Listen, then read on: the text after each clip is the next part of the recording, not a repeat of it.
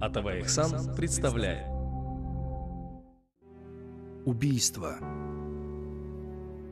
Самым ценным творением Всевышнего, которое Он возвеличил, вдохнув в него свой собственный дух, является человек. Поэтому убийство человека является самым тяжким грехом, которому нет прощения и пощады.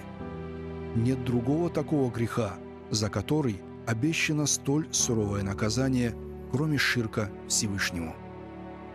В Коране сказано смысл. Кто убьет мусульманина нарочно, того ждут вечные муки ада, гнев Всевышнего и его проклятие и приготовлены ему большие наказания. Сура 3, аят 93.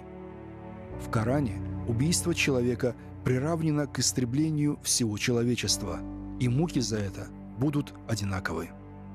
В хадисе сказано, убийство одного человека тяжелее перед Всевышним, чем уничтожение всей земли.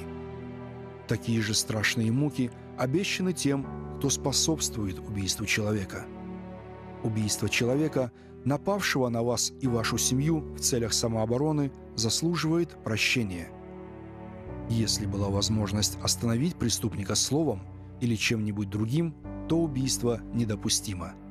Все зависит от степени опасности и ваших возможностей самообороны.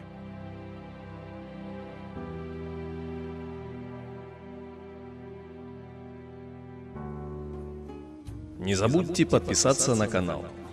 А также, чтобы быть в курсе новых публикаций, нажмите на колокольчик. Мир, милость и благословение Аллаха всем нам.